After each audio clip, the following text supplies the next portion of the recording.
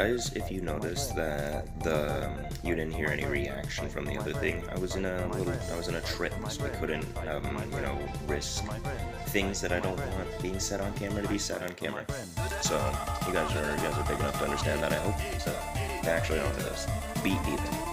Um, very fun level. Um, I recommend this only like it's like the difficulty really comes from the wave. I'm not gonna lie, like 70% of the level basically is wave. It's it's crazy, but it's good. I like it. So um, let's see.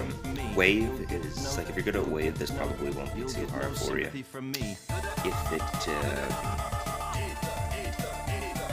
if it is, then I guess yeah, what can I say? Get good, but. Uh, I, I, I would recommend this. It's not too hard, assuming that you're, you're decent at wave. But even then, the wave isn't too hard when you decide to use the boss guide like I did. I know, kill me.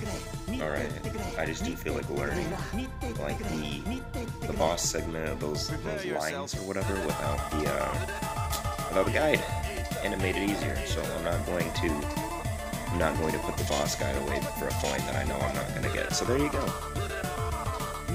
What else can I say?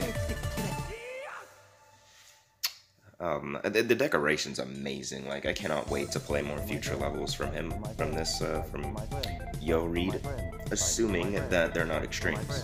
Despise extremes. Anyway, um, that's, I guess that's gonna be it. Um, I'll see you guys in the next video when, whatever that is. Although I think I know what it is, what it's gonna be.